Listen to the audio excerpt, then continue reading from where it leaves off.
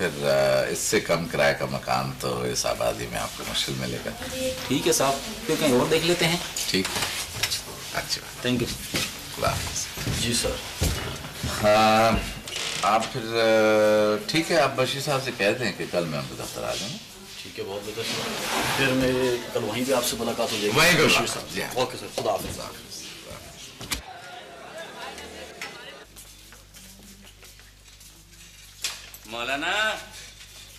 हमेशा नज़रें झुकाए ना बैठा रहा करो इधर उधर देख भी लिया करो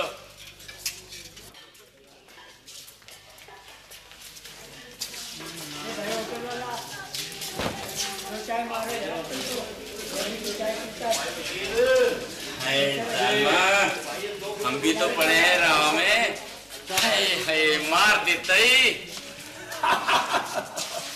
मियाँ भाई नसीर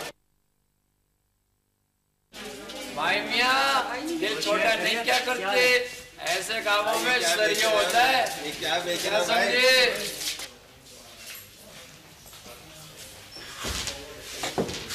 बेच वालेकुम सलाम मुजम्मिल मियाँ क्या हाल है? आओ बैठो। भाई खैरियत? बहुत थके थके लग रहे हो। क्या थकना और क्या ना थकना हफीज भाई। मुस्तबिल और अपने मतलब की नौकरी मिलती नहीं। और जहाँ मिली भी है ना वहाँ अपना दिल नहीं लगता। अच्छा। हफीज भाई मैं सुबह शाम निगरानी का काम साइट पर करता हूँ। और मिलता क्या मुझे? अट्ठारह सौ रुपये मियाँ वैसे बेकारी से तो अट्ठारह सौ रुपये भी भले हैं। वाले साहब कहा करते थे? पढ़ोगे लिखोगे बनोगे नवाब। लेकिन अपना तजुर्बा तो कुछ और ही कहता है। एमए की डिग्री? कोई पुरसाने हाल नहीं है उसका। मियाँ मायूसी अल्लाह पर भरोसा रखो। ऐ बहन रमिता, ये अल्लाह पर भरोसा ही तो है, जो मैं बेसहारा औरत हुसना को घर में लिए बैठी हूँ। वरना कॉलोनी वालों ने तो हुसना के चचा की गैरत देख ही ली थी ना। भाई के मरने के बाद बेवा भावज और यतीम भतीजे के सर पे हाथ तक नहीं रखा था उसने। और जब भावज भी अल्लाह को प्यारी होगी तो भतीजी की तरफ़ उसने नज़र उठा के नहीं देखा, उसकी खबर तक नहीं ली। और ये कहकर अलग हो गया कि भाई हमारे घर में भी खाने वाले बहुत हैं हमें कुछ नहीं। हाय बुवन बुढ़ी अजब जमाना आ लगा है। अपनों का तो खून सफ़ेद हो गया है। खैर अल्लाह मुश्किलें आसान करने वाला है। बेशक बेशक तुम ठीक कह रही हो। अब देखो ना जब मैं बेवा हुई थी तो कितनी बेसहारा थी। अल्लाह बख्शे हुसना के बाप मुझे इस घर में लेकर आए थे। और ईमान की कहती हुसना की माँ ने मुझे कभी गैर नहीं समझा। हमेशा अपने घर के फर्द की तरह रखा। और बुआ बुआ कहते तो उसकी ज़ुबान सूखती थी। उससे बहुत प्यार करती थी बड़ी इज़्ज़त करती थी और यही हाल हुसना का है। बहुत इज़्ज़त करती है मेरी। मैं तो मरते दम तक हुसना के वालदेन के एहसान मंद रहूँगी। भाई नमक खार हूँ इस चौखट की मैं तो। बस बुआ क्या एहसान और क्या नमखवारी अल्लाह में सबे बुलस बाप है। अगर तुम ना होती तो हुस्ना किसके सहारे होती? अरे वो हुस्ना है कहाँ? अरे वो सिलाई कढ़ाई के स्कूल में सिलाई सीखने गई है। बस तो सारा काम सीख ले बस दो चार टाँके रह गए। वो भी सीख लेगी हेलो अमिता तुम पूछ रही थी वो आ गई मेरी बेटी। बड़ी उम्र है उसना की। अरे क्या बात है उसना ये तुम्हारा मुँह इतना उतरा हुआ है? बुआ वो नसीर जो है बहुत ही बदतमीज आदमी है। क्यों? क्या उस कमबख्ती मारे ने फिर कोई शोधापन दिखा दिया क्या? उसकी दुकान के सामने से गुजरी थी। चादर को इतनी ज़ोर से झटका कि वो सारे तरशे हुए बाल मेरे मुँह पे आके पड़े। सुना हमीदा अरे बुआ इस नसीर कम बहत ने तो कॉलोनी की औरतों का बाज़ार से गुजरना हराम कर दिया। परसों तरसों की बात है मैं गुजर रही थी। मुंडे बालों का झाग ऐसा उछाल के फेंका मेरे सर पे आके पड़ा। बड़ा ही बजात है कम बखत। आई मरजात होती ही ऐसी है। अरे नहीं सारे मर्द एक से नहीं होते। अब वो नसीर की जो दुकान है उसके सामने जो दुकान है हफीज की उसको नहीं देखा तुमने? कैसा नेक और शरीफ इंसान है रोज गली से गुजरता है। मगर क्या मजाल कि गली से गुजरते हुए या दुकान पे बैठे हुए कभी उसने किसी औरत की तरफ़ नज़र उठा के देखा हो? हाँ तुम ठीक कह रही हो। और ये जो अपना हुसना का जो मकान है इसके नाम कराने में भी भी उसने मदद की थी? अच्छा। और नहीं तो क्या? अच्छा बुआ अब मैं चलती हूँ। खाला अभी तो मैं आई हूँ। वो आपने खाला को कोई चाय वाय पिलवाई? बस। मुँह देखी की मोहब्बत करती हो। माँ के बाद तो आना जाना बिल्कुल ही छोड़ दिया है। नहीं खाला बस अम्मी के बाद कहीं आने जाने को दिल नहीं चाहता। अल्लाह किसी नेक इंसान से नसीबा खोले। आमीन। मेरी भी बस दिन रात अल्लाह से यही दुआ है।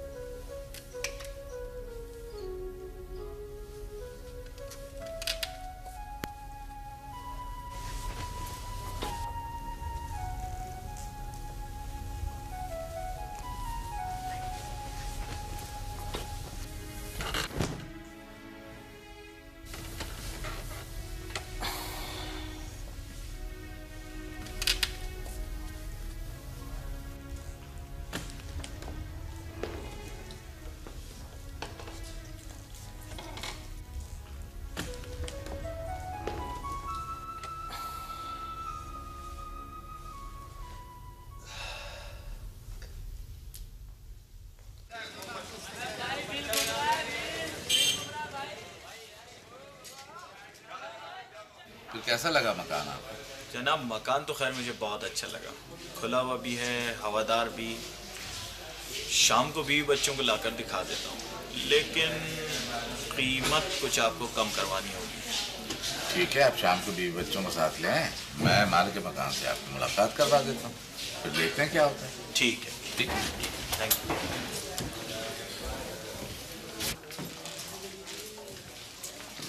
अरे आओ मौलाना क्या हाल है बुआ नूरी ठीक है अब भैया कैसे हो तुम?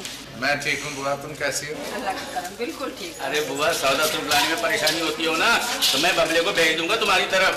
बबले ओ बबले! हमें किसी बबले वबले की ज़रूरत नहीं है। चलो बुआ हम अपना काम खुद कर सकते हैं। जूस ताजी ताजी बुलाया था जी आप रुपए किलो। कितने मर गए थे क्या काम कर अपना? नौ रुपए किलो।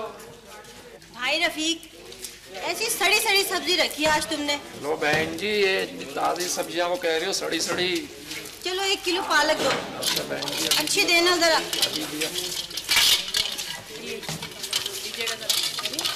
हाँ और सब खैरियत? हाँ अल्लाह का शुक्र है। बच्चे वगैरह सब हाँ हाँ। जरा आधा किलो बैंगन भी तोड़ दीजिए हाँ प्री- क्या? वो नसीर है ना नसीर हाँ हाँ। उसने हुस्ना के चाचा के पास अपना रिश्ता भेजा है। हुस्ना के लिए। नसीर ने नसीर ने रिश्ता भेजा रिश्ता भेजा हुस्ना के लिए।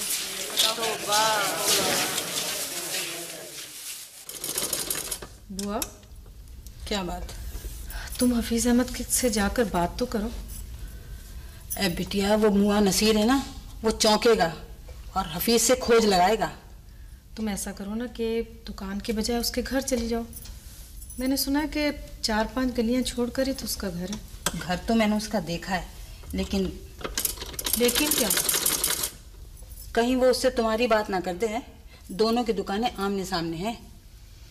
वो वैसे मुझे ना हफीज अहमद ऐसा आदमी नहीं लगता। अब देखो ना उसने मुझे मकान दिलाने में कितनी मदद की थी। अरे बिटिया वो और बात थी ये और बात है। ऐसे मामले में किसी पर आँखें बंद करके भरोसा नहीं किया जा सकता। अब किसी ना किसी पर तो भरोसा करना ही पड़ेगा बुआ। वरना दो चार दिन में वो चची मुस्कुराती है और चचा मूछों को ताव देते हुए पहुँचेंगे। हाँ वो आएँगे। असगरी बता रही थी कि वो मुआ नसीर है ना कम वक्त मारे ने बीस पच्चीस दिन से चौखट ले रखी है उन लोगों की और रोज़ाना दोने पे दोने पहुँचा रहा है उनके घर में। क्या होगा? लेकिन बुआ मुझे चचा की मूछों से बहुत ही डर लगता है। इतना कि बस मैं बता नहीं सकती। लेकिन तुम्हें नसीर से हाँ करना पड़ेगी। हरगिज नहीं। मैं अपनी जान दे दूँगी लेकिन उस मरदूद नसीर के लिए हरगिज हाँ नहीं करूँगी।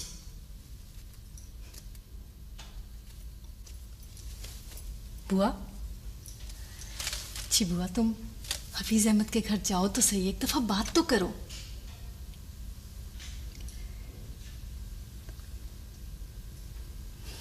अच्छा देखती हूँ मैं।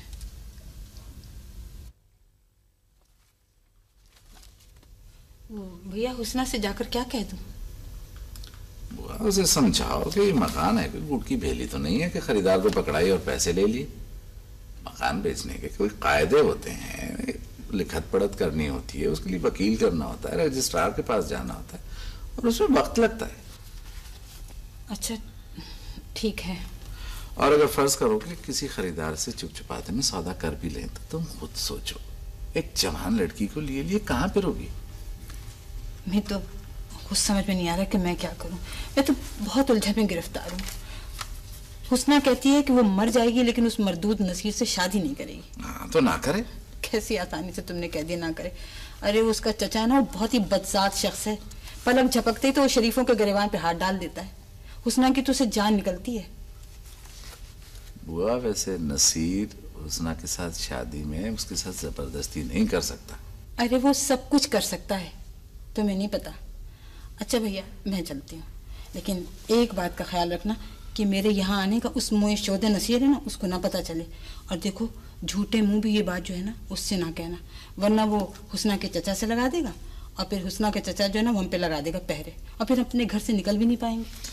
बुआ वैसे घर से निकलने का मशवरा तो मैं भी नहीं दूँगा। तुम और उसना जितने शेर यहाँ अपनी जानी पहचानी जगह पे हो सकती हो अपने घर में हो सकती हो वैसे कहीं और नहीं हो सकती। हुसना के चचा की हाँ में हाँ मिलाने वाले अगर चार लोग मिल जाएँगे तो दो हिमायती हुसना के भी निकल आएँगे। अरे भैया कमजोरों से सहारों का यहाँ तो कोई भी हिमायती नहीं होता। नहीं नहीं ये बात तो नहीं है बुआ। यही बात है। आजमा कर देख लो।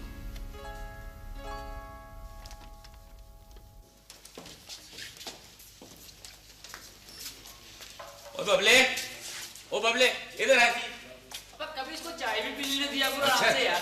दादी बुला रहे हैं। हर वेले चाय पीना। इधर है छेती है जी उस्ताद जी। ले पुत्र चाची जुबैद ने दिया और कहना उस्ताद जी ने सलाम भी दिया है। चाची जुबैदा? अरे अपनी चाची वह जुबैदा नहीं जानना। हुसना बीबी की चाची। है? छेती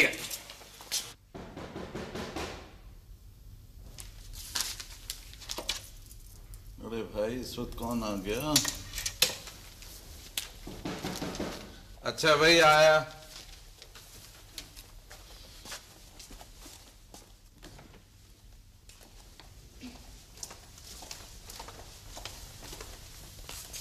कौन है? भैया दरवाज़ा खोलो हम हैं। सलाम वालेकुम वालेकुम सलाम। सलाम। वालेकुम सलाम। अंदर चलो।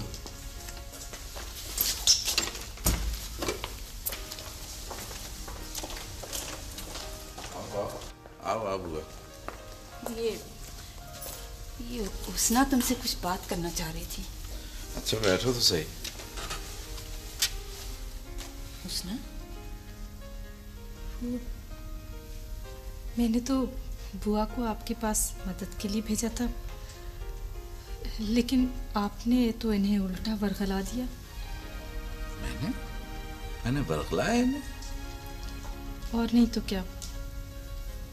मकान ना बिकता ना सही। हम निकल तो जाते। आपने तो उल्टा इन्हें डरा दिया कि नई जगह पर जाओगे तो ये हो जाएगा वो हो जाएगा। हाँ तो मैंने गलत तो नहीं कहा था ना। अब आप ही हमें मशवरा दीजिए कि हम उस छिचोरे नसीर से पीछा कैसे छुड़वाएँ? साफ़ साफ़ इनकार कर दो। आप अगर चचा को जानते तो ये बात इतनी आसानी से ना कहते। उनके सामने इनकार करने से तो ज़्यादा आसान बात मेरे लिए ये है कि मैं अपने गले में फंदा डालकर मर जाऊँ। खैर ये तो बुजदली होगी। बहादुरी मैं दिखा नहीं सकती। वैसे बुआ इस वक्त आप लोगों को आना नहीं चाहिए था। किसी ने अगर देख लिया तो मेरी तो इज़्ज़त खाक में मिल जाएगी।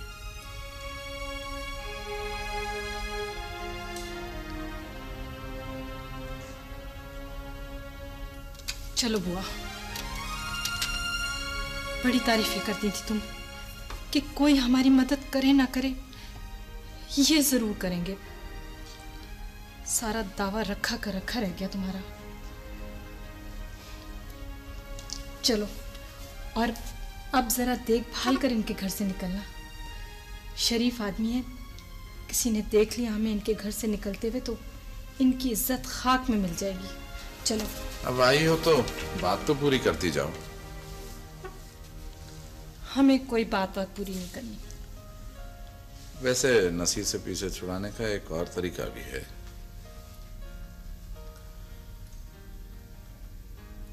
वो क्या?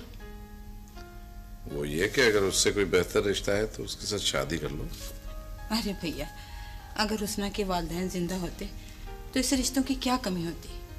वैसे भी अभी मोहल्ले में दो चार इस नज़रें जमाए बैठी हुई अपने भाई के लिए, अपने बेटे के लिए। लेकिन वो कमबख्त है ना, जवानी मरा नसीर, वो पहले ही अपनी उम्मीदवारी लेकर इसके चचा के पास जाके पहुँच गया है। क्या कहावत है बड़े बूढ़ों की, कि मुँह खाए और आँख ले जाए वही हिसाब है इस हुस्ना के चचा का। एक एक बात कहूँ मैं आपसे? हाँ कहो। आप आप क्या आप शादी कर सकते हैं मुझसे?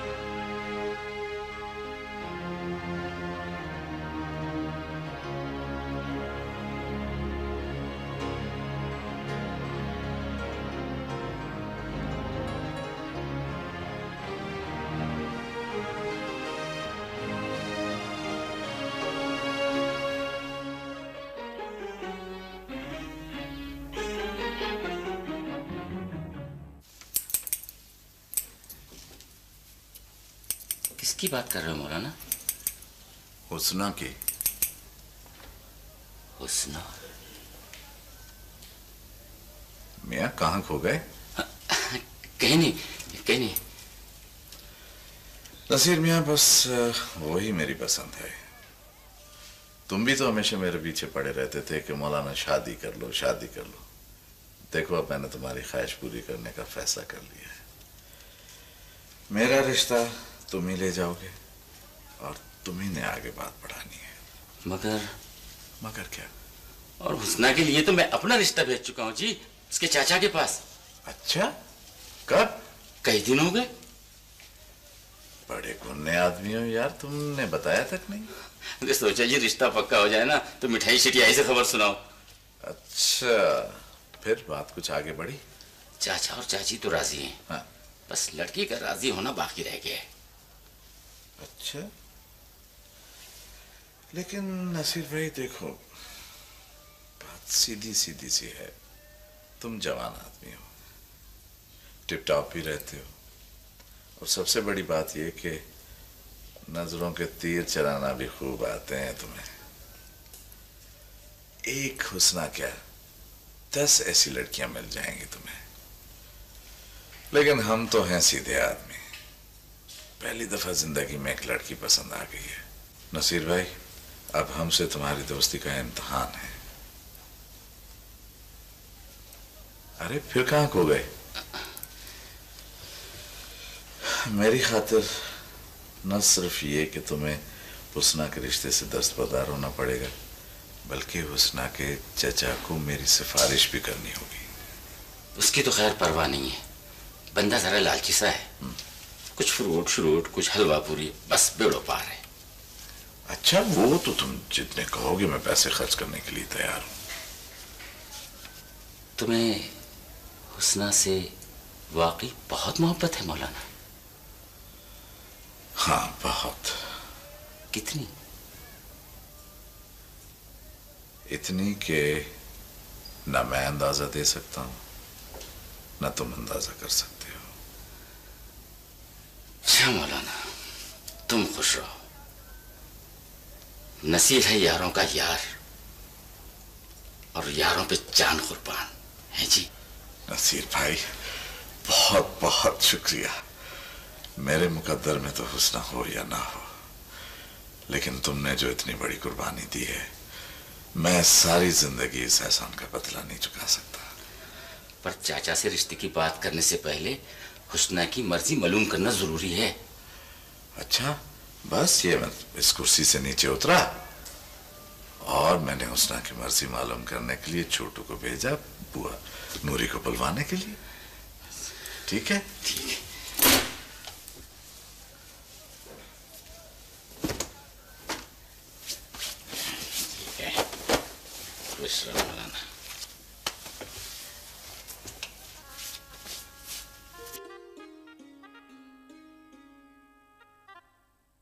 सोच लें भाई अफीज। ज़मीन और आसमान मिलने की कोशिश करें तो दोनों ही उफक में गुम हो जावे। अच्छी तरह सोच समझ लो।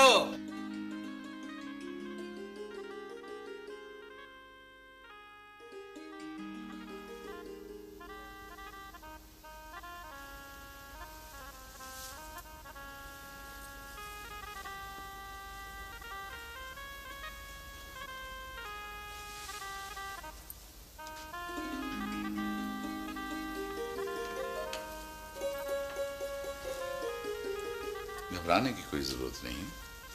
तुम आराम से बैठी रहो। हुस्ना अब तुम हर जबर, हर सख्ती से आज़ाद हो। तुम मजबूर और बेबस नहीं हो। खुद मुख्तार हो। तुम्हें अपनी ज़िंदगी के बारे में खुद फैसला करने का अख्तियार है। और मुस्तकबिल में जो रास्ता तुम अपनाना चाहो अपना सकती हो। मेरी ज़िंदगी का फैसला। मेरी ज़िंदगी का फैसला तो हो चुका है। नहीं। उसने देखो। तुम पर कोई जबर नहीं है। तुम जब चाहो मैं तुम्हें आज़ाद कर सकता हूँ। अगर कहो तो अभी इसी वक्त।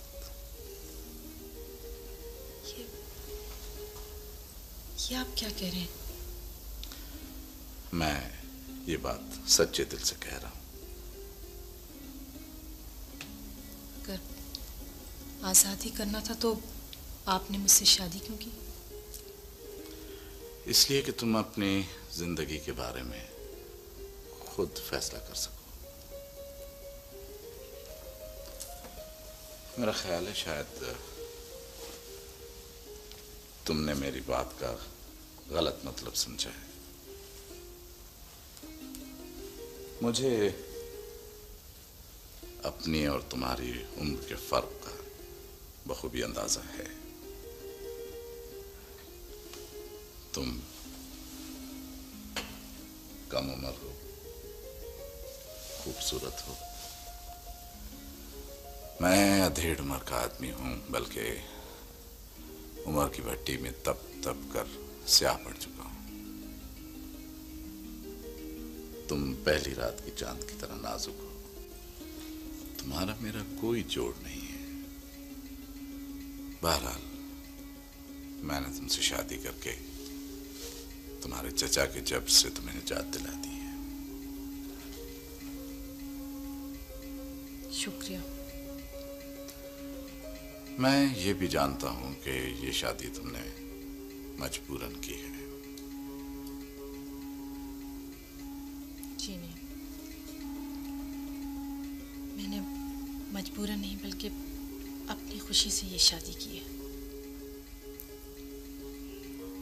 मुरवतन कह रही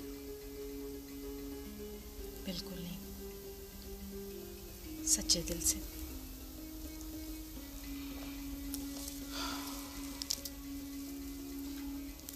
फिर भी मैं समझता हूँ तुम इस बात पे सोच लो सोचना कैसा ये तो मेरा अपना फैसला है फैसला गलत भी तो हो सकता है उसने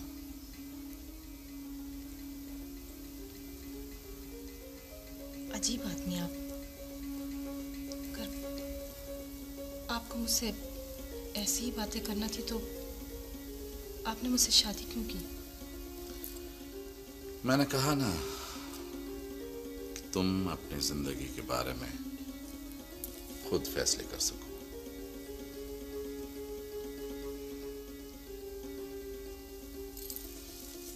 तो सुन लीजिए, मेरी ज़िंदगी का पहला और आखिरी फैसला, क्या मुझे मेरी मौत ही इस घर से निकाल सकती है?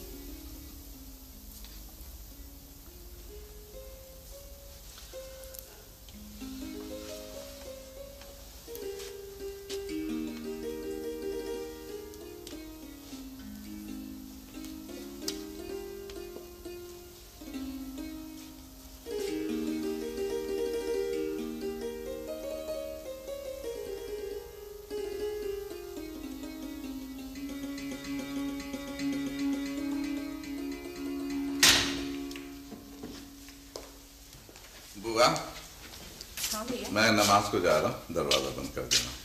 अच्छा ए भैया ना तो तुम्हारे घर में चाय की पत्ती है ना चीनी है और फिर बर्तन भी कोई ढंग के नहीं है। ये चाय कैसे बनेगी? मैं अभी जा रहा हूँ तो ले आता हूँ और उसना को जगा देना। अरे भाई उसना को जगाने की इतनी क्या जल्दी है। उसे अपनी तरह ना समझना। जवानी की नींद टूट के आती है। अच्छा अच्छा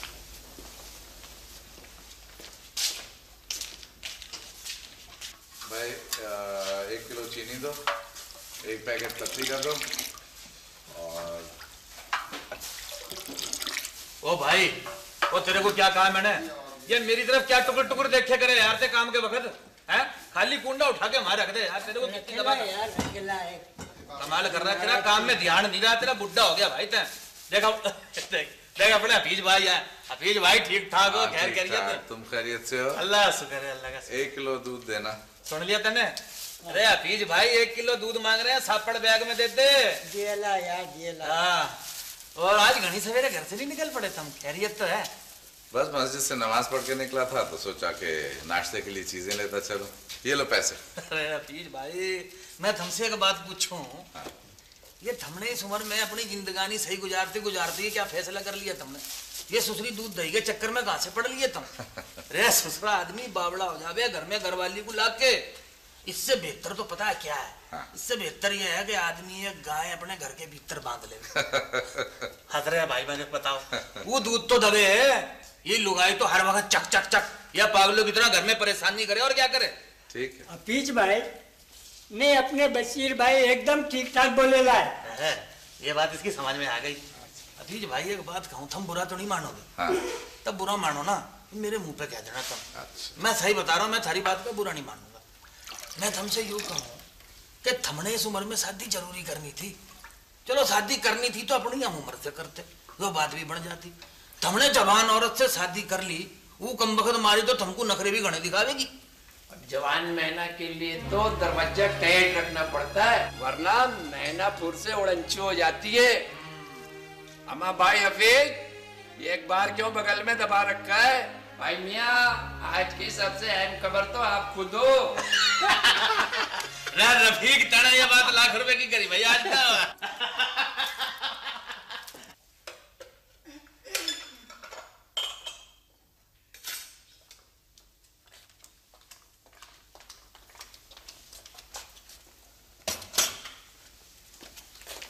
अरे आज शादी को चंद दिन हुए और आप दुकान को चल दिए शादी से दो दिन पहले से दुकान बंद पड़ी।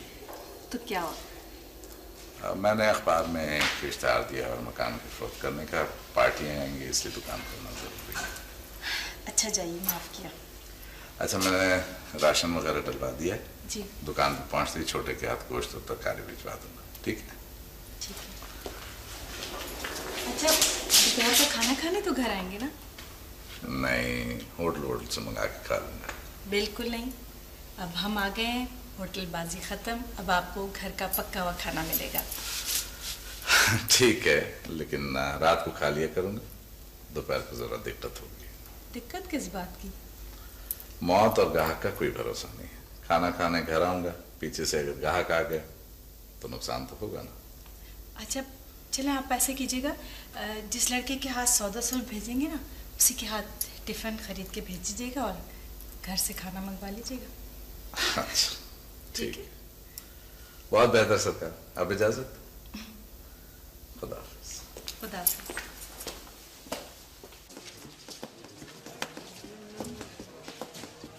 कमीज तेरी काली ते सोने फुल वाली।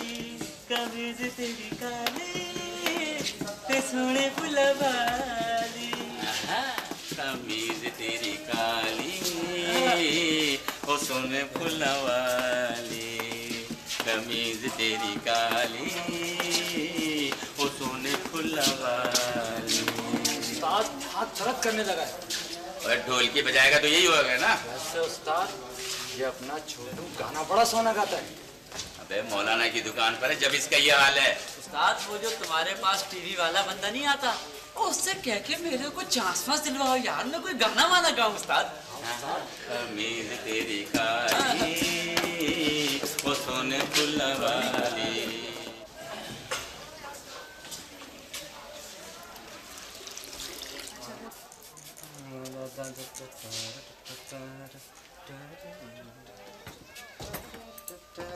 ओ बबले। जी उस्ताद जी। भाई जरा ख्याल से। अच्छा उस्ताद जी। ओए वीर नो कोड़ी चढ़े सतारह दिन हो गए हैं। अब उतार भी दे इसे नीचे। अच्छा उस्ताद जी। नसीर भाई तुम नहीं थे तो मजबूरन हम बैठ लिए। मगर हमारे बाल तो तुम्हारे हाथों को पहचानते हैं। हाजिर जनाब जी। ले पुत्र जी। ऐसा होता अपनी भाभी जी ने दिया ही। और पूछ ले किसी और शे की ज़रूरत तो नहीं है? अच्छा जी। चल जा। लो जी मैं आ गया जनाब। बाजी साहब जी का खाना दे दें। एक मिनट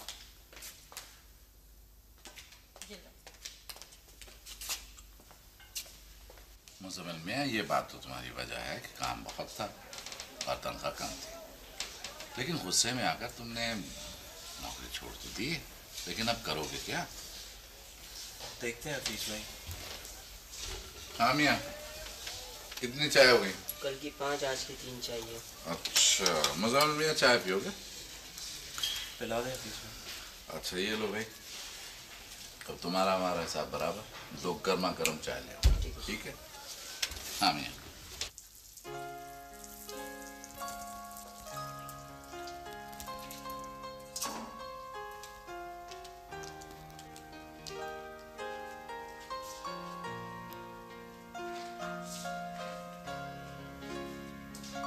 सब इस ब्लॉक में नीचे दुकानें हैं और ऊपर फ्लैट है माफ़ कीजिएगा मैं जरा इन सबको पैर फार कर लूँ ये कोई बात नहीं। अंदाजन कितनी दूर है यहाँ से ये इसकी आ, साहब तो ये कोई ढाई तीन मील दूर होगी हाउस बिल्डिंग का कर्जा आपने कितना बताया था? हाउस बिल्डिंग का कर्जा चवालीस हज़ार है।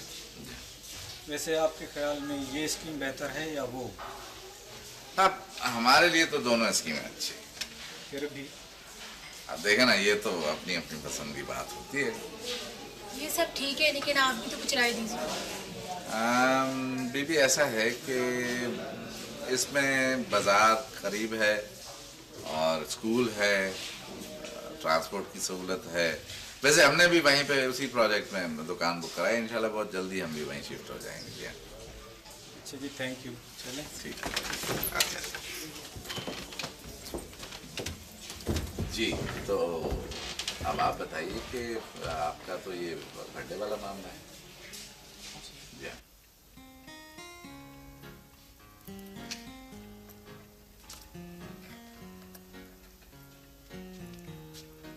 कैसा लगा? बहुत बहुत अच्छा।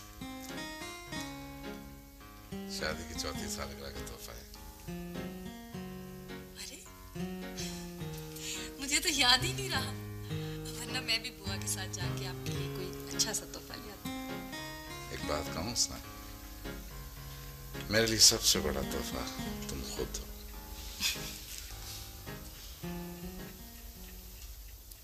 एक दूध का पैकेट दे दीजिए।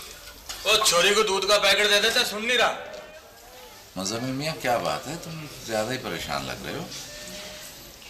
हफीज भाई आजकल नौकरी के लिए दफ्तरों के चक्कर लगा रहा हूँ। तो सड़कों पर चल चल कर अपने जूते घिस रहा हूँ। लेकिन कुछ भी हासिल नहीं हुआ अब तक। मियाँ तुम इन चक्करों को छोड़ दो और मेरे पास आ जाओ। मैं समझा नहीं हफीज भाई। मियाँ देखो जब से ये प्लाटों की और दुकानों की और फ्लैटों की स्कीमें शुरू हुई है ना काम मेरा बहुत बढ़ गया है। मुझे एक ऐसे आदमी की ज़रूरत है जो मेरा आउटडोर का काम संभाले। हफीज भाई आपको रहम आ गया मुझ पर? मगर ना आया तो अरे मियाँ इसमें रहम की क्या बात है? मुझे वाकई आदमी की ज़रूरत है। हाँ हाँ हफीज भाई आप मुझे क्या देंगे? भाई देखो तुम गैर तो हो नहीं। अपने ही हो अगर कहोगे तो तनख्वाह अगर कहो तो कमीशन जैसे तुम कहो। हफीज भाई फिर इस तरह है कि मेरी दो हज़ार रुपये तनख्वाह कर दें। अच्छा ठीक है। और कमीशन जो होगा उसमें सिक्सटी परसेंट आपका फोर्टी परसेंट मेरा। चलो मियाँ ये तो लेकिन मैं काम हफीज भाई दिल लगा के करूँगा बिल्कुल? इसीलिए तो मियाँ मैं तुम्हें और आपने मैं मैं आपका शुक्रिया नहीं अदा कर सकता। चलो फिर आज ही से काम शुरू कर दो। बहुत शुक्रिया। ठीक है? मेरे पास एक ही कॉल लिखी हुई है इस पे तुम यहाँ से चले जा रहा ठीक है। ठीक। और जाके उनसे बात करा ठीक है। ठीक है? चलो।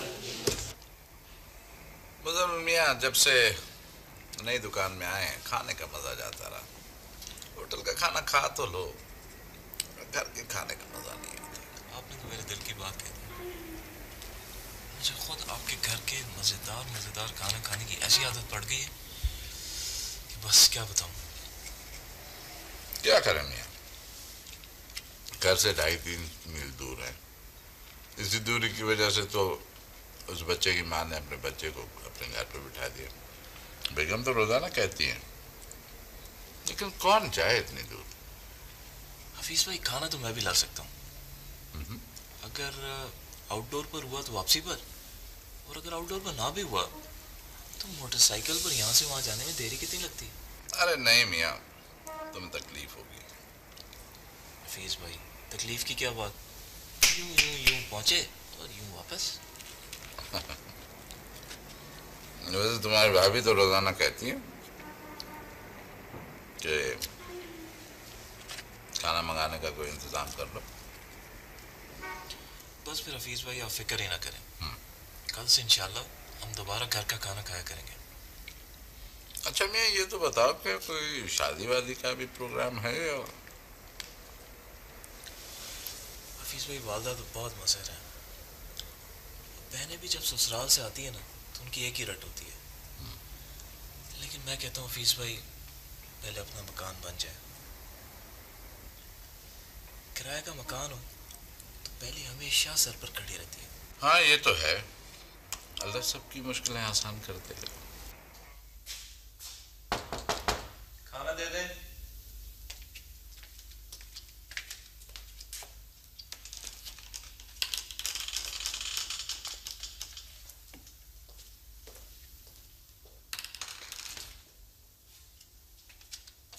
फिर इस मकान का क्या होगा? क्या यूँ ही खाली पड़ा रहेगा? भाई तुम्हारे बुज़ुर्गों की निशानी है। तुम्हारी चीज़ है जो मर्ज़ी में आया करो। मैं जब भी उसकी बात करती हूँ आप यही कह देते हैं। तो फिर क्या कहूँ मैं? आपकी जगह कोई और मर्द होता ना तो कब के उसके पैसे खरे कर चुका होता। भाई देखो ना मर्द की शान तो यह है कि औरत को दे। ना कि उसकी चीज़ों पे नज़र रखे। और मेरे मौला का इतना बड़ा करम है मेरे ऊपर कि वो मुझे मेरी ज़रूरत से ज़्यादा ही दे रहा है। भैया ये जितनी भी खुशहाली तुम्हारे घर में आई है ना हम्म, ये हुसना के कदमों से आई है। मेरी हुसना बड़ी नसीबों वाली है। जब से तुम्हारे घर में आई है हर तरफ़ माया ही माया बरस रही है। वैसे एक बात है भैया बड़े बूढ़े कहते आए हैं कि पैसा जो है वो औरत के मुकद्दर से आता है और औलाद मर्द की किस्मत से।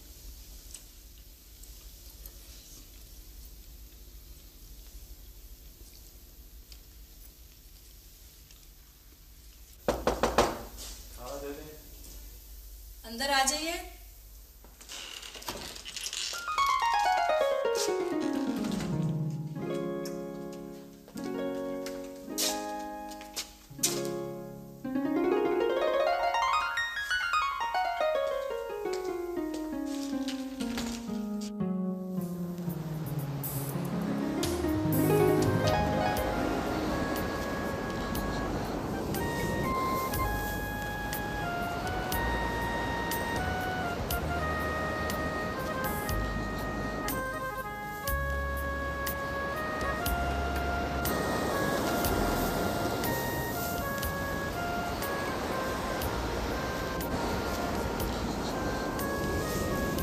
हुस्ना हुस्ना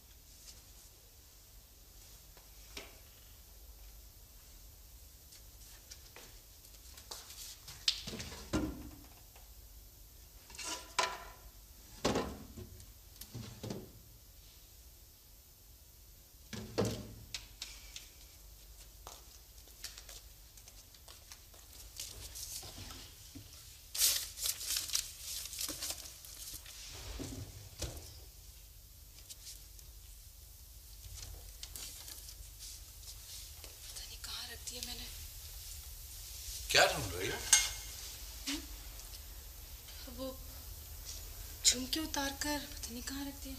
कोई बात नहीं है मिल जाएँगे। इसे रख के भूल जाती हूँ क्या हो गया? वैसे हुसना मैं आजकल देख रहा हूँ तुम कुछ परेशान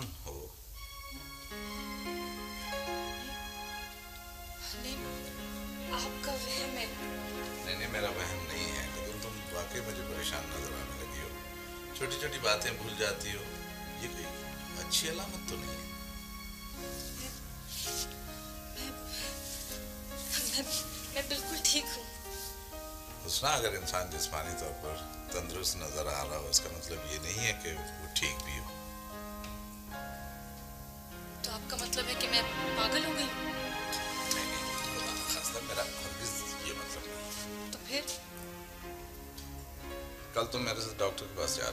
जी नहीं। मुझे किसी डॉक्टर वॉक्टर के पास नहीं जाना। देखो मैं तुम्हारे लिए बहुत फिक्रमंद हूँ। प्लीज़ आप आप मेरी फ़िक्र मत किया करें।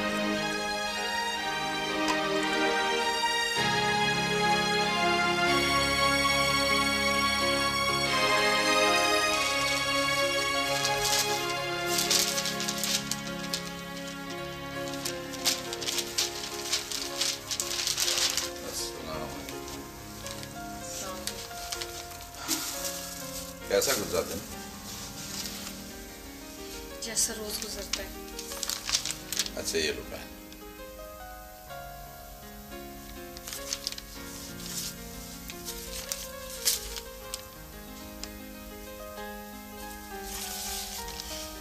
मुरझा तो जाते हैं।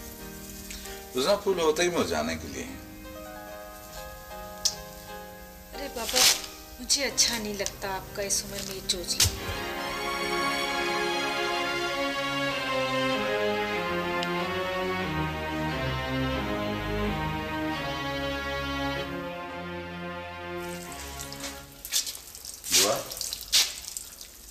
तुम ही समझाओ कि वो मेरे साथ डॉक्टर के पास चली जाए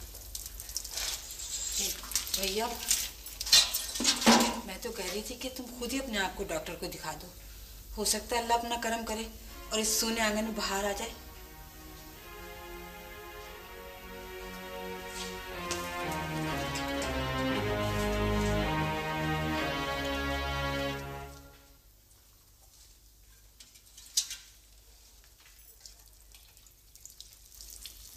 आप यूँ करें कि ये फ़ाइल लेकर आप मेरे पास आ जाएँ। जी हाँ बिल्कुल।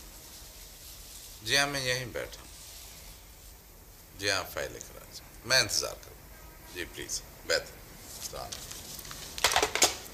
हफीज भाई वो मकान मैंने देख लिया और चाबी भी ले ली है। वो हाउस बिल्डिंग फाइनेंस कॉर्पोरेशन वाला सलीम है। उसकी तरफ़ मैं जा रहा हूँ। दो तीन काम है। अच्छा। अगर आपने कुछ उसको कहलवाना हो तो। नहीं। बस ठीक है मैं निकलता हूँ। तुम आओ, ठीक है। ओके। ओके।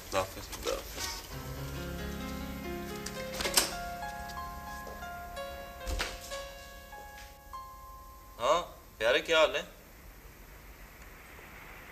यार वो इश्तिहार तुम्हें मैंने भिजवाया है। वो लाजमन छप जाना चाहिए। यार पार्टी अमेरिका जा रही है और जाने से पहले शोरूम को डिस्पोज ऑफ़ कर देना चाहती है। हाँ यार, अपने बंदे को अखबार के दफ्तर तो दौड़ाओ। मैं तुम्हारी तरफ़ से गुजरूँगा ना चार पाँच बजे। हाँ। तो तुम्हें पेमेंट करते हुए जाऊँगा। ठीक है? और हाँ रसीद बना के तैयार रखना अच्छा? ठीक है। ठीक है। Okay. Thank you thank you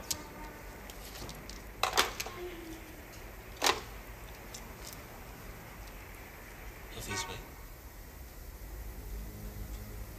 क्या बात है? कुछ नहीं। कुछ तो है हफीज भाई। आप बहुत परेशान परेशान रहने लगे हैं।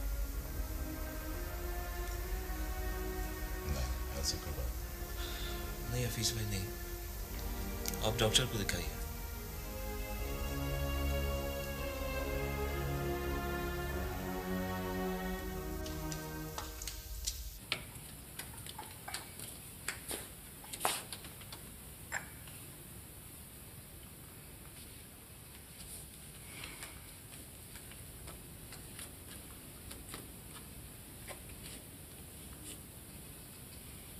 आखिर कब तक खिजाब लगाते रहेंगे?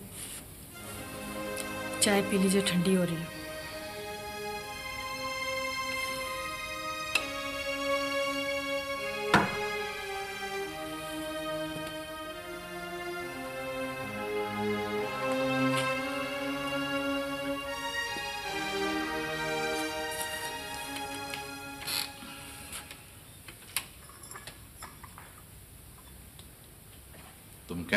चाह रही हो।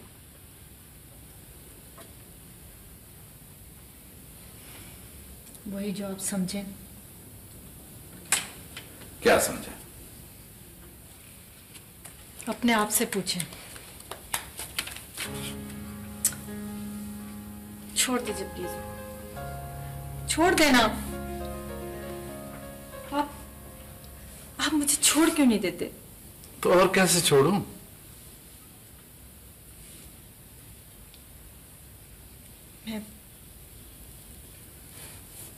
मैं हमेशा के छोड़ने की बात कर रही हूँ।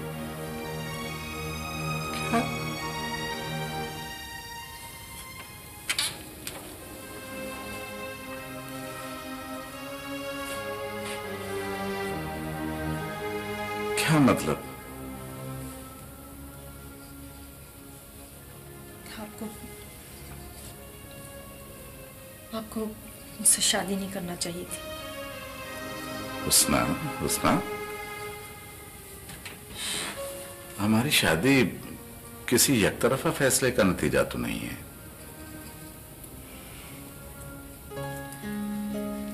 मुझसे गलती हो गई। गलती हो गई? मेरे पास मेरे पास उस वक्त कोई रास्ता नहीं था। हुस्ना तुम्हें याद है मैंने शादी वाली रात तुम्हें क्या कहा था? और उस वक्त तो तुमने बड़ी रजामंदी से मेरे हक में फैसला दिया था। हैं? जवाब दो ना। बोलो ना। मैं मैं दुनिया वालों के सामने तमाशा नहीं बनना चाहती थी। उनको हंसने का मौका नहीं देना चाहती थी। और अब शादी के इतने अरसे के बाद तुम अपने साथ मुझे भी तमाशा बनाना चाहती हो? उसना मैं ये समझने से कासिर हूँ कि इतनी खुशगवार ज़िंदगी गुजारने के बाद ये यकायक तुम्हारे रवैये में मेरे लिए सर्दमहरी क्यों आ गई है? ये तुम्हें क्यों एहसास होने लगा है? क्यों तुम इस बात पर पछता रही हो कि मुझे तुमसे शादी नहीं करनी चाहिए थी? मैंने तुम्हें क्या कुछ नहीं दिया? ऐश, आराम आसाइशें नेमतें उसके बावजूद तुम कह रही हो कि मुझे तुमसे शादी नहीं करनी चाहिए थी। औरत को मर्द से सिर्फ़ ऐशो आराम ही नहीं चाहिए होता। तो फिर क्या चाहिए होता है? ठीक है आपने मुझे ऐशो आराम दिया। नियमते थी मगर मगर क्या?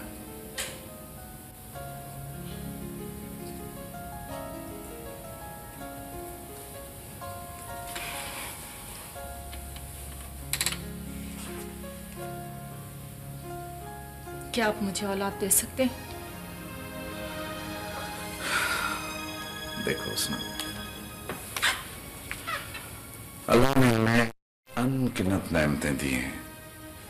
अगर औलाद हमारी किस्मत में होगी ना तो मौला करीम एक न एक दिन हमें ज़रूर इस नेमत से भी नवाजेगा। पांचवा साल खत्म होने को बस बस बहुत हो चुकी। आप मुझे आज़ाद कर दें।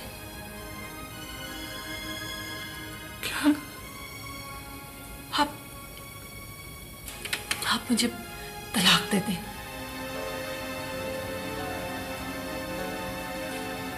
सवाल ही पैदा नहीं होता। क्यों? क्यों का क्या सवाल है? इधर की दुनिया इधर हो जाए। मैं तुम्हें तलाक नहीं दूँगा।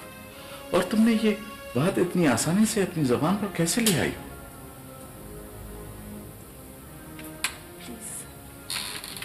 हो आप मुझे छोड़ दीजिए। मुझे आज़ाद कर दें यूँ समझ लें कि पहली रात के बजाय मैं मैं आज आपसे आज़ादी और खुद मुख्तारी मांग रही हुस्ना, उस रात और आज में बरसों का फासला है। और उस वक्त तो मैंने अपने सारे पत्ते तुम्हारे हाथ में दे दिए थे। लेकिन आज मेरे पास एक ऐसा पत्ता है जिसकी खातिर मैं अपना सब कुछ हार सकता हूँ। कौन सा पत्ता?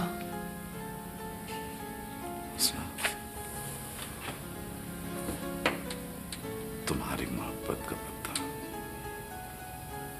तुम्हें अंदाज़ा नहीं है कि मुझे तुमसे कितनी मोहब्बत हो गई है।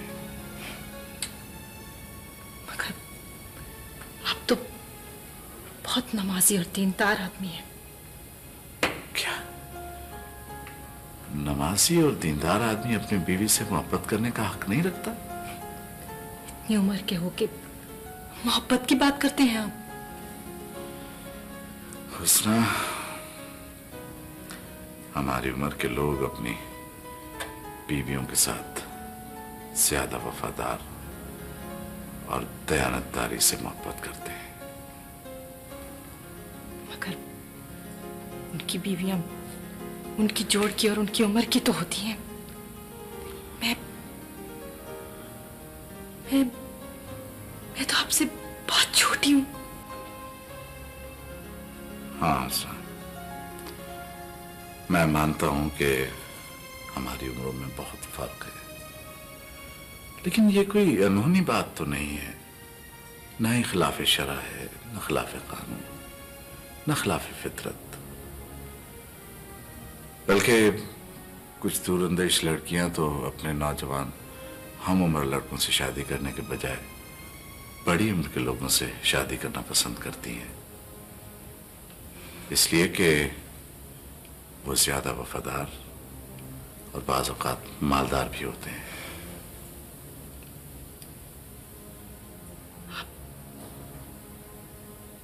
आप प्लीज़ आप आप प्लीज़ मुझे छोड़ दें।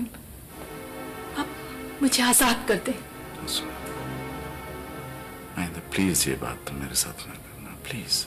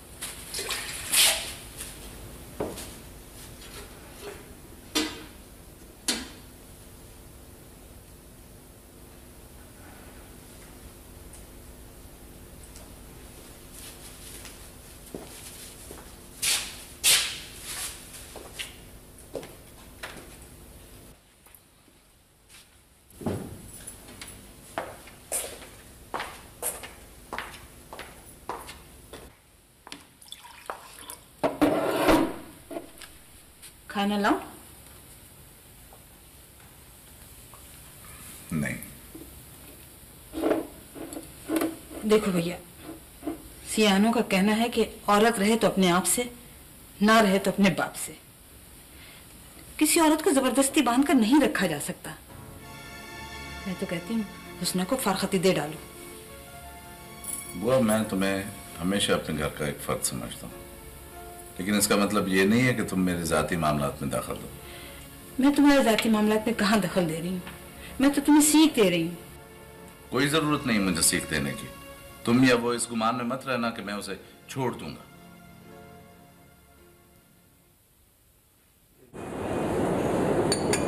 बड़े आदमी बन गए हो मौलाना। जब से दुकान छोड़ी दोस्ती भी छोड़ बाज़ार से गुजरते भी नहीं। नहीं भाई नसीर ये बात नहीं है। दरअसल मेरा रास्ता अलग हो गया है ना। उधर का उधर ही निकल लेता हूँ। अच्छा खैर मुझे ये बताओ दुकान से उठाकर किस वास्ते लाए? चाय पीने वास्ते?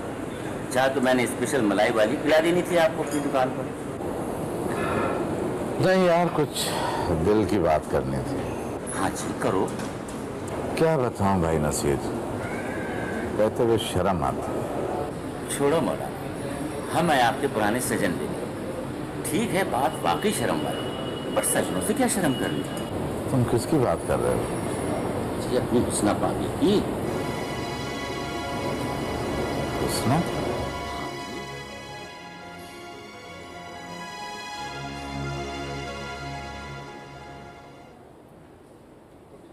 हफीज भाई अभी मेरे ख्याल है और कोई काम तो नहीं है। तो मैं बस आधे घंटे में आता हूँ फिर। वो नॉर्थ वाली पार्टी आएगी। उसको काइंडली बैठा लीजिएगा। ठीक। मैं खाना लेकर मेरे ख्याल है दो ढाई बजे तक आ जाऊँगा। ठीक। ठीक है? ओके। खुदा हाफिज।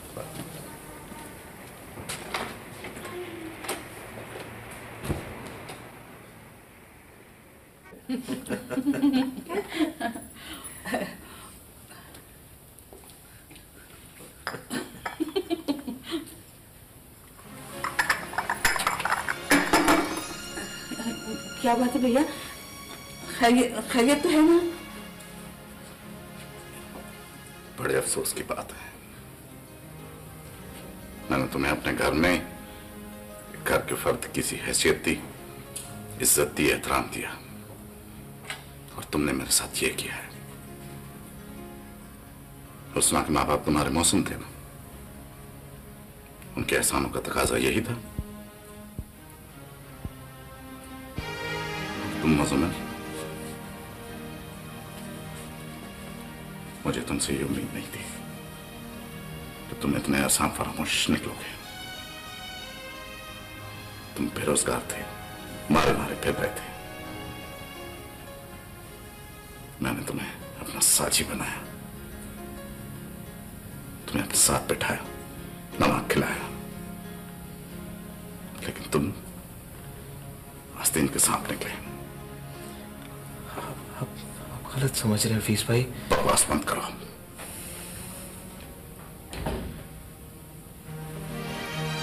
तुम उसना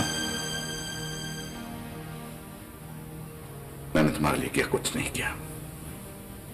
ये तुम अपने आप से पूछो। और तुमने मुझे क्या दिया है? दुख, रुसवाई, बेवफाई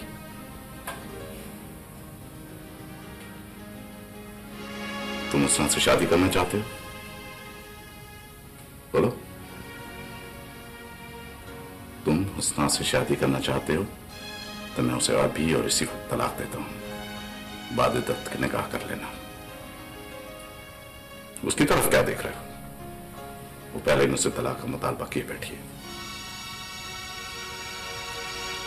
बोलो। वाकई शादी करोगे या? लोगों की इज्जतों से खेलने का शौक है। बोलो। मकान मकान बनने तक मेरा शादी का कोई इरादा नहीं है। सुन लिया तुमने और तुमने भी।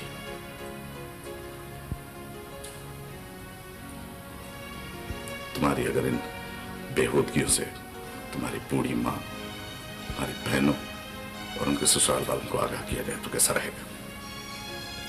हाँ? बोलो। प्लीज़ भाई एक बार माफ़ कर दें प्लीज़। एक बार माफ़ कर दें। दफ़ा हो जाए यहाँ से।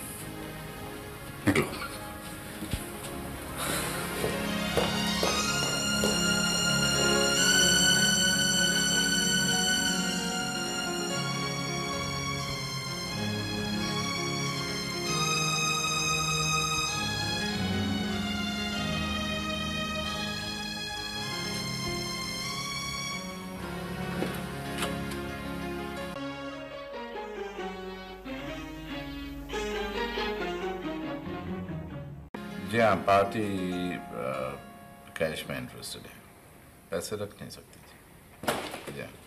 थैंक यू हफीज साहब, आप मुझे इस कारोबार से इतनी आसानी से ना तो बेदखल कर सकते हैं, ना अलग कर सकते हैं। माना ये दुकान आपकी है, लेकिन स्टैम्प पेपर पर लिखत पढ़त मौजूद है। मैं न तो बदयानत हूँ और न खाइन लिखत पढ़त अगर मौजूद न भी होती तो मैं अपनी ज़ुबान के पास रखता। तुम अगर यहाँ बैठना चाहो तो मुझे इसकी कीमत दे दो, मैं अलग हो जाता और अगर नहीं तो तुम अपनी डिमांड बताओ। लेकिन डिमांड जायज़ होनी चाहिए। इज़्ज़त की कीमत नहीं। ठीक है। फिर मैं भी देखूँगा।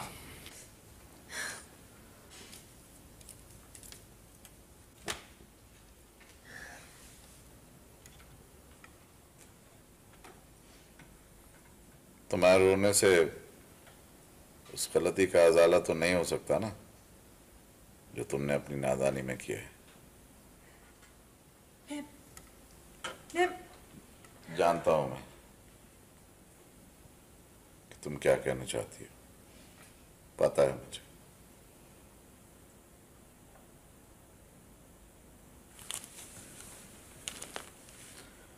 मैं जानता हूँ कि तुम्हें अपनी गलती पर शर्मिंदगी का एहसास है। अगरचे मेरे लिए ये बहुत कठिन होगा लेकिन मैं पूरी पूरी कोशिश करूँगा कि तुम्हारी इस गलती को बुला सकूँ। आप, आप मुझे आप मुझे तलाक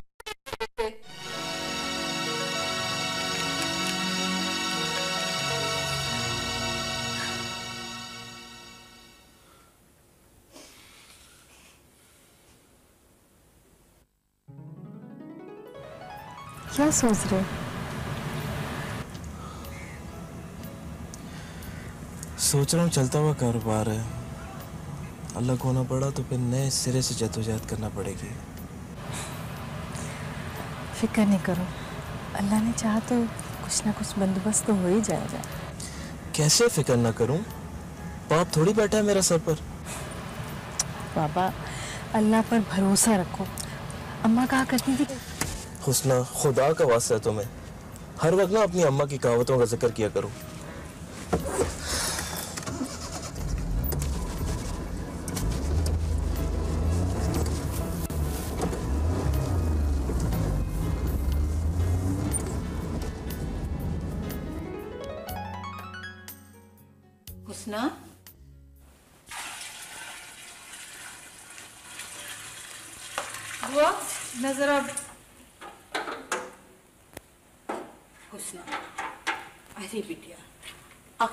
के में।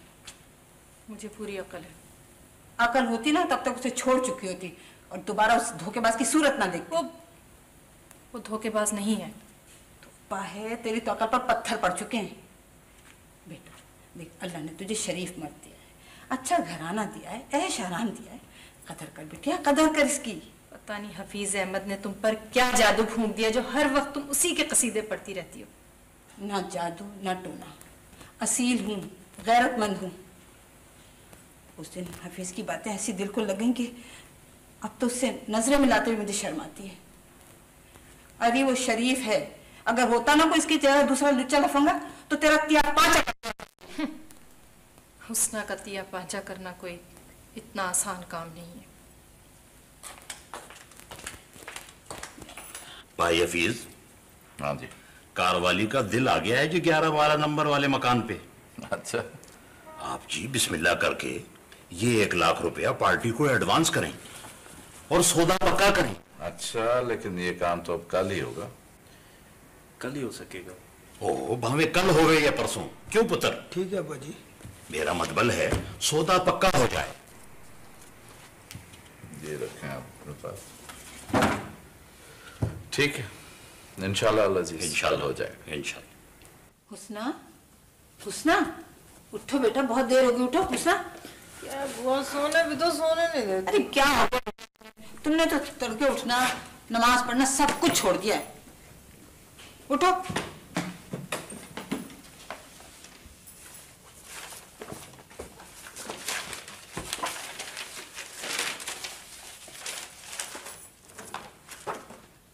बुआ मेरे इसमें पैसे पड़े हुए थे। इसी में होंगे भैया। नहीं है तभी तो पूछ रहा हूँ। नहीं है? कितने थे? एक लाख रुपए। क्या? एक लाख? हुस्ना सुन रही हो? मुझे क्या मतलब हुआ? ए भैया मुझसे तो तुम चाहे जिसकी कसम ले लो। मैंने तो अगर इसे हाथ भी लगाया ना तो खुदा की मार हूँ उस पे। ए भाई मैंने तो देखा भी नहीं अगर मैंने इसे देखा तो मेरे दीदे फूट जाए।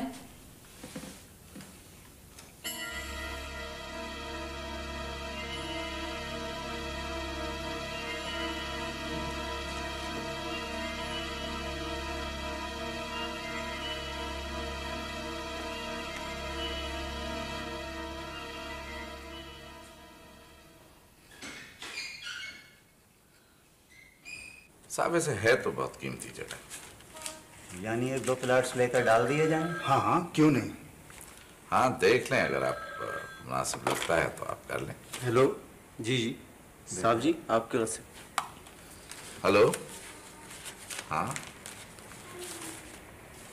नहीं हुआ क्या? अच्छा मैं अभी पहुँच रहा हूँ। देखिए मुझे जरा इमरजेंसी हो गई आप तशरीफ़ रखें या फिर कल बात कर लेंगे। ठीक है? आप तशरीफ़ थैंक यू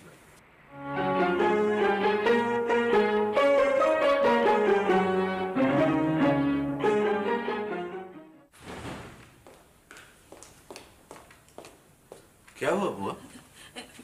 भैया, ये ये हुस्ना बता रही थी कि उन उन दोनों ने ना ढाटे बांधे रखे थे और दोनों के हाथों में पिस्तौलें थी।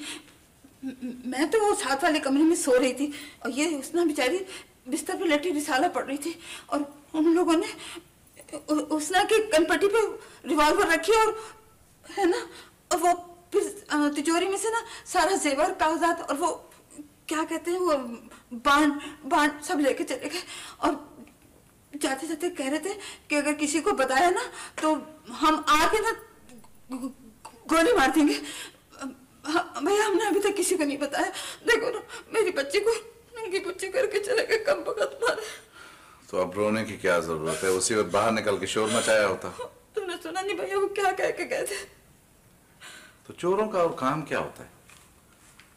अच्छा ठीक है। चीज़ों को मत छेड़ना। जब तक पुलिस आ जाए मैं रिपोर्ट दर्ज कराने जा रहा हूँ। हाँ, बुआ वो वो फिर आने का कह गए।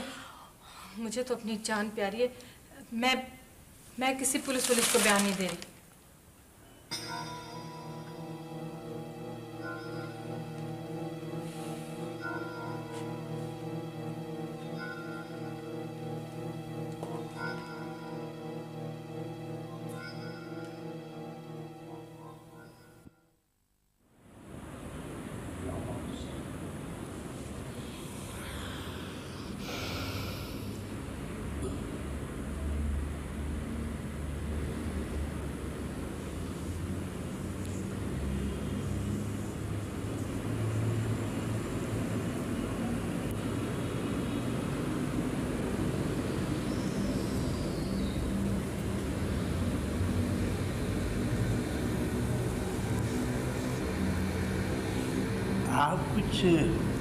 परेशान मालूम होते हैं। क्या बात? है कुछ नहीं। कुछ तो है।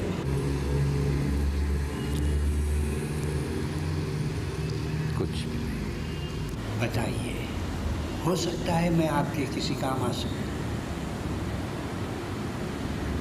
तरद्दुद मत कीजिए साहब।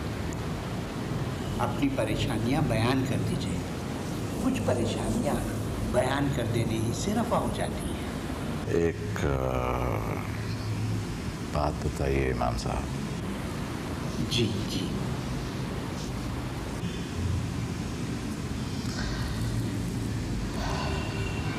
अगर किसी शख्स की बीवी आप मुझ पर एतमाद करके पूरी बात बताइए। इमाम साहब, अगर किसी शख्स की बीवी बेवफाई की मरतकब हो और अपने शौहर के सामने किसी गैर मर्द के साथ वाबस्तगी का एतराफ़ करते हुए तलाक मांगे तो तौबा तौबा अस्तगफिरुल्लाह अल्लाह रब्बुल इज़्ज़त हर औरत को इस बेरहरवी की फितने से बचाए महफूज रखे अगर आप बुरा ख्याल ना फरमाएँ तो एक बात कहूँ जी आपकी परेशानी गवाही दे रही है कि ये मसला आपके किसी इंतहाई करीबी अकरबा में से किसी का है जी इमाम साहब, बस यही समझिए। देखिए साहब, ऐसी औरतों पर अल्लाह रब्बुल इज़्ज़त ने बहुत लानत की है। सूरह नूर में आया है। अगर तुम अल्लाह और रोज़ आखिरत पर यकीन रखते हो तो अल्लाह के हुक्म की तामील में ऐसे मर्द और औरत के हाल पर किसी किस्म का तरस तुम पर दामिनगीर न हो। और अगर मर्द ऐसी औरत को कुछ अपनी मोहब्बत और कुछ दुनिया वालों से शर्म और दूसरी मसलियतों के तहत तलाक ना देना चाहे तो तो साफ़ ज़ाहिर है कि मर्द उस औरत के गुनाह से चश्मपोशी करके वो गुनाह खुद अपने सर भी ले रहा है।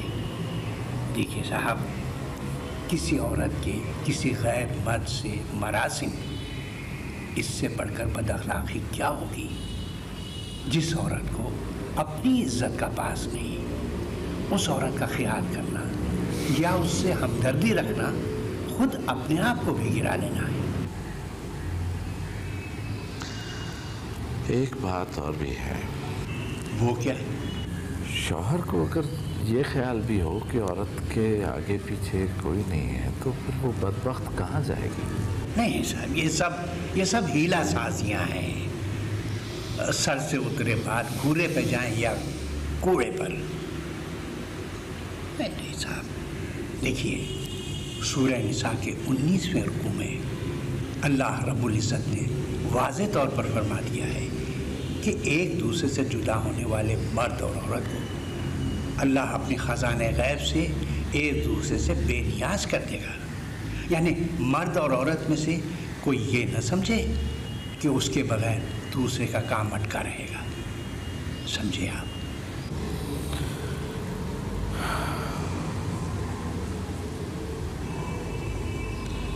बहुत बहुत शुक्रिया ईमान साहब आपका।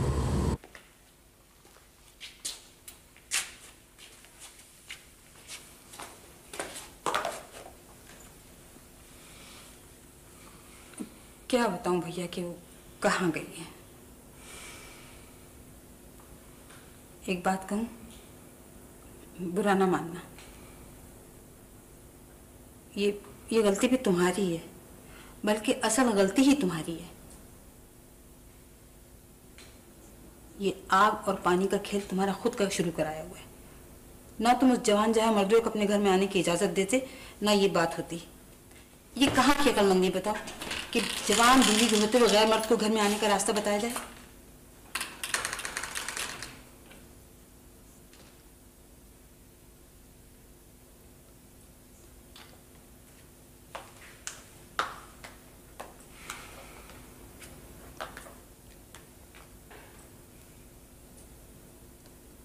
मैं सब समझती हूँ कि ये वक्त बे वक्त घर के दो दो तीन तीन फेरे क्यों होते हैं। तंग आ चुकी मैं इन पैरों से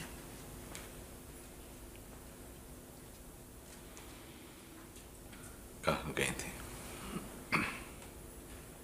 क्या ये बताना ज़रूरी है हाँ क्यों इसलिए कि मैं तुम्हारा शौहर भी हूँ बाज़ार गई थी अच्छा आओ बैठो इधर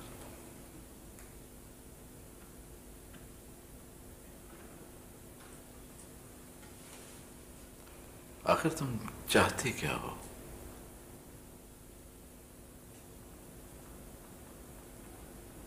तलाक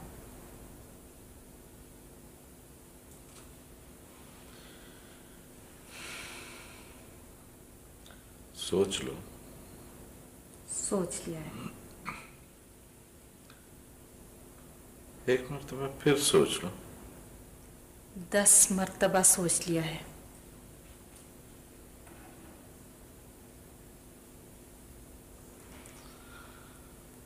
इसका मतलब है कि तुमने अपनी बर्बादी का तहिया कर लिया है। ठीक है। बर्बादी ही सही। मुझे किसी हमदर्दी वमदर्दी की ज़रूरत नहीं है।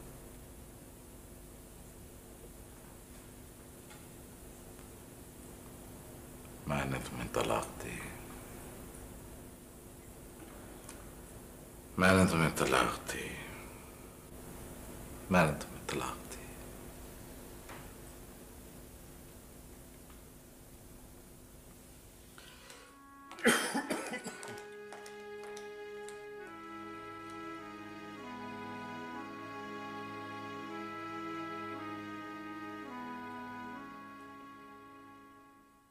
बुआ सुना है हफीज ने तलाक के बाद हुसना को इद्दत गुजारने के लिए उसके चचा के घर खुद छोड़ कर गया। हाँ पहले उसने मुझसे कहा था कि हुसना की इद्दत तक मैं उसके साथ उसके मकान में रहूँ। लेकिन मैंने खुद इनकार कर दिया। क्यों? अरे बस मेरा तो दिल खट्टा हो गया था हुसना की तरफ़ से। कितना उसे समझाया कितना बुझाया मगर बहुत बुरा किया वैसे हुसना ने। अरे ऐसा वैसा बुरा किया? बहुत ज़्यादा बुरा किया। ये भी सुना है बुआ कि हफीज ने हुसना को मेहर अदा कर दिया और इद्दत का पूरा खर्चा भी दे रहा है। ठीक सुना है तुमने। लेकिन वो वैसे है बहुत शरीफ आदमी। शरीफ? अरे हीरा आदमी है हीरा आदमी है। जब मैं चल रही थी ना तो मुझसे कहने लगा बुआ कभी भी अगर किसी चीज़ की ज़रूरत हो तो बिला हिचकिचाहट मुझे बता देना। मेरा तो मेरा तो बुढ़ापा ही खराब हो गया अभी तो मैं बतूलन के पास आ बैठी हूँ। देखो, अब अल्लाह कहाँ ले जाए। ए बुआ, कहीं जाने की ज़रूरत नहीं। इसे अपना ही घर समझो। अरे, हम दो ही तो जी हैं। औलाद अल्लाह ने हमें दी नहीं। देखो, तुम्हारे आने से ना मेरा भी जी बहल गया है। देखो मैं तुम्हें कहीं नहीं जाने दूँगी। कह दिया बस मैंने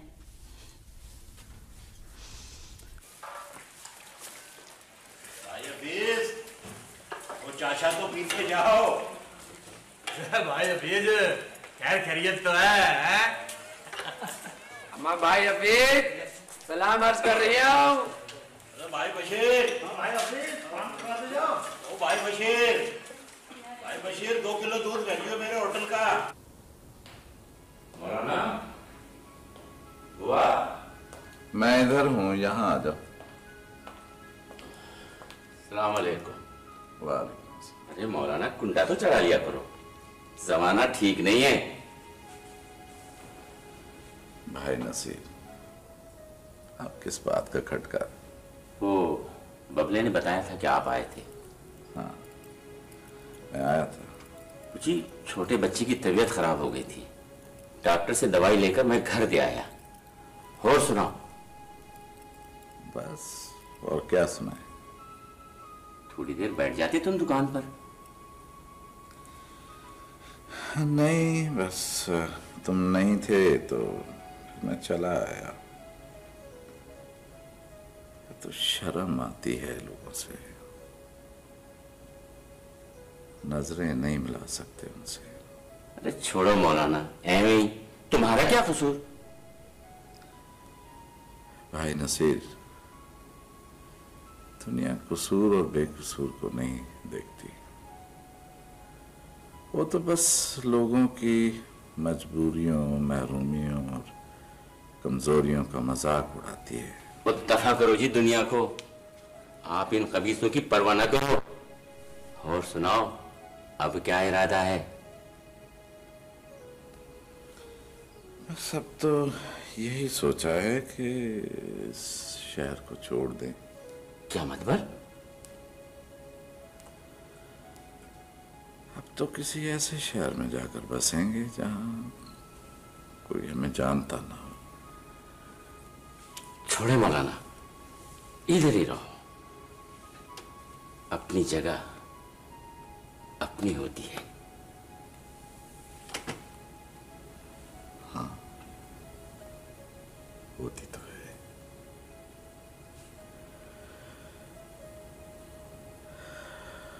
लेकिन जिस जगह पर इंसान को नज़रें झुकाकर रहना पड़े,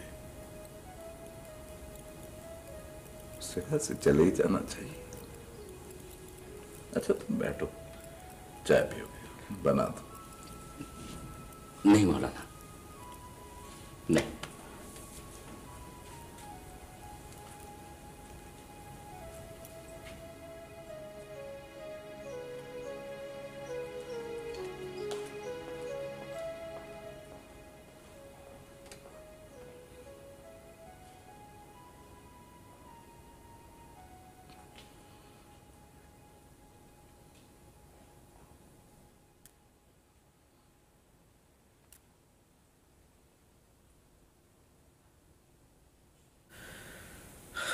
मुझे अफसोस है उसना ऐसे क्या देख रही हो? तुम्हें मुझसे शादी करना होगी मुजम्मिल मेरी मजबूरी को समझने की कोशिश करो उसना। अगर मैंने उस लड़की से शादी ना की ना तो मेरी बहन का घर टूट जाएगा। वो मेरी बहन की सगी नंद है और छह सात बरस से मुझसे मंसूब है। लेकिन तुमने ये बात मुझे पहले तो कभी नहीं बताई। तो क्या फ़र्क पड़ता है? अब बता रहा हूँ। क्या फ़र्क पड़ता है? कितनी आसानी से तुमने कह दिया कि क्या फ़र्क पड़ता है? तुम्हें एहसास है कि तुमने मेरे साथ क्या किया है? प्लीज़ समझने की कोशिश करो। समझ चुकी हूँ। समझ चुकी हूँ कि तुम धोखेबाज हो। नहीं हुसना नहीं। तुम गलत समझी हो। बिल्कुल गलत समझी हो। गलत तो मैं पहले समझी थी। होश तो मुझे अब आया है। तुमने तुमने मेरे साथ बहुत बड़ा धोखा किया है। देखो हुसना शादी मेरी कहीं भी हो जाए। मोहब्बत तो मुझे तुमसे है ना? और हमेशा रहेगी। मत ला अपनी जबान पर मोहब्बत का नाम। और मत सुनाओ मुझे अब मजबूरियों का सबक। मुझे अपना मकान या मकान की कीमत वापस चाहिए।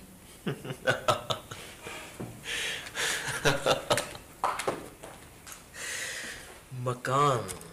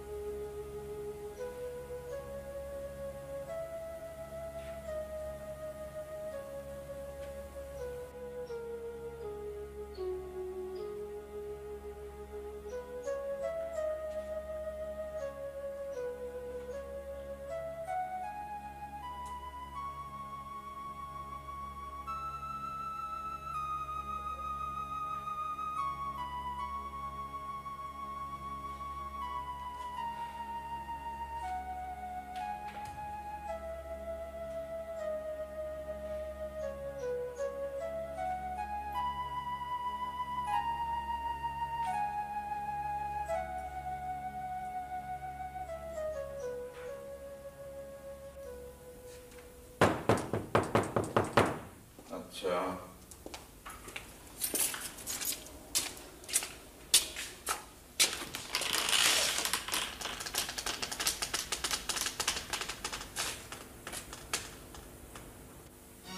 तुम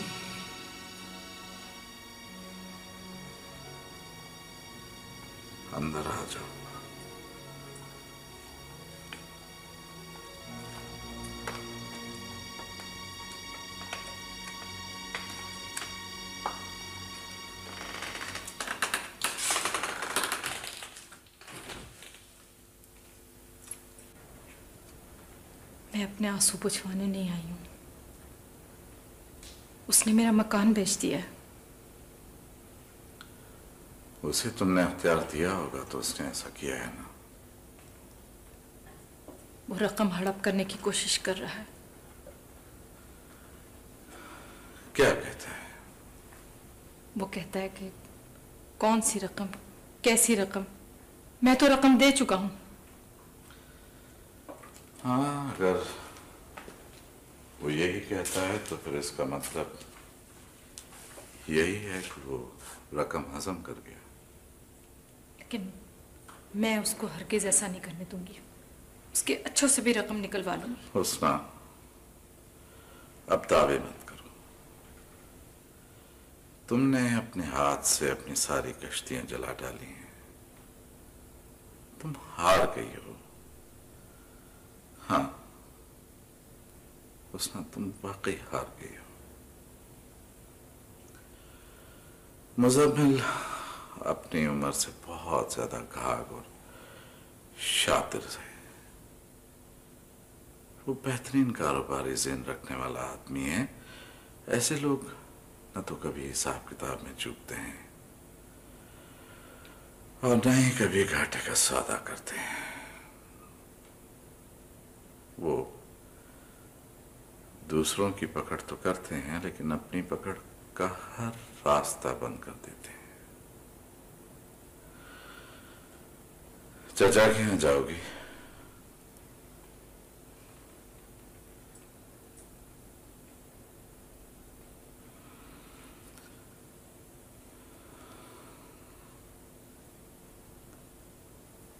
मैं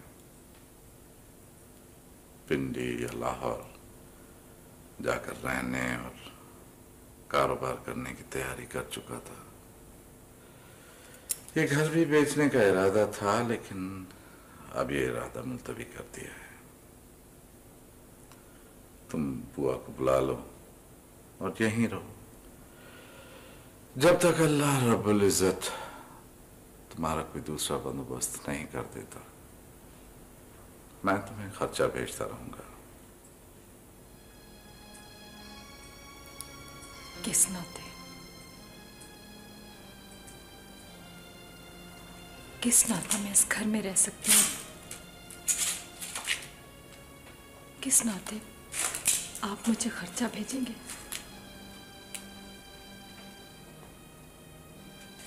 अपने पैरों पे कुल्हाड़ी मारने वालों को बैसाखियाँ नहीं मिलनी चाहिए।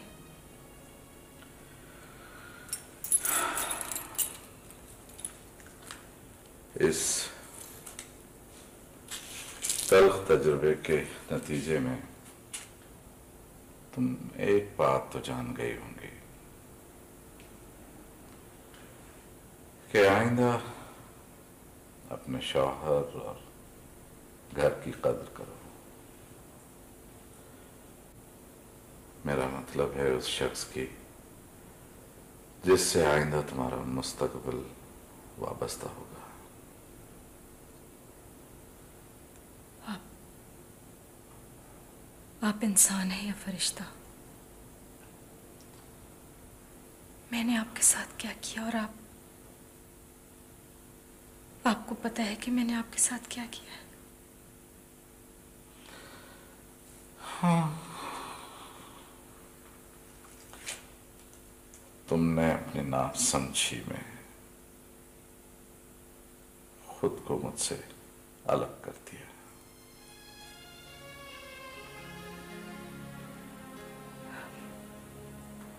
मैं मैं बहुत जलील और बहुत घटिया हूँ। मैंने आपको मैंने आपको बहुत नुकसान पहुँचाया है। उस बेईमान आदमी ने मुझसे कहा कि उसका कारोबार हो जाएगा तो वो तो वो मुझसे आपको पता भी नहीं कि मैंने उस जलील आदमी की खातिर आपको कितना नुकसान पहुँचाया मुझे माफ़ कर दीजिए।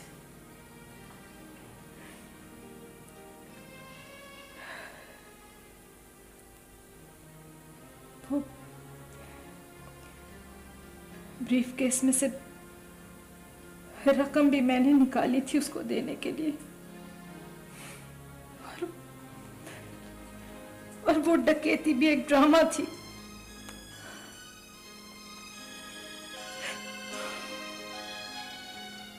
अब आप चुप क्यों है? आपको गुस्सा नहीं आ रहा मुझ पे? मार डाल मुझसे नफरत महसूस नहीं हो रही। मुझे मार डालिए। बोलिए, कुछ तो बोलिए। वरना आपकी खामोशी मुझे मार डाले बोलिए, मुझे मारिए। मुझे कत्ल मेरे टुकड़े टुकड़े कर कर छील कर वो को ज़मीन में गाड़ दीजिए। मुझे मारिए मैंने आप जैसे शरीफ आदमी को बहुत नुकसान पहुँचाया कुछ बोलिए। मुझे बुरा कहिए। कहिए।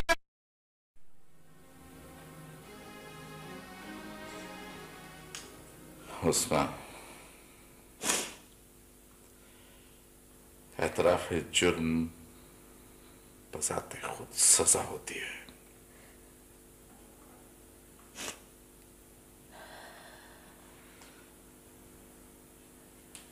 मुझे माफ़ कर दीजिए प्लीज़।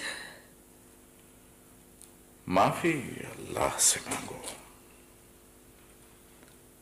मैं मस्जिद जा रहा हूँ। सुबह को फजर की नमाज़ के बाद। बुआ को लेता हूँ और उसे यहाँ पर छोड़कर चला जाऊँगा। मैं दरवाज़ा बाहर से बंद कर देता हूँ।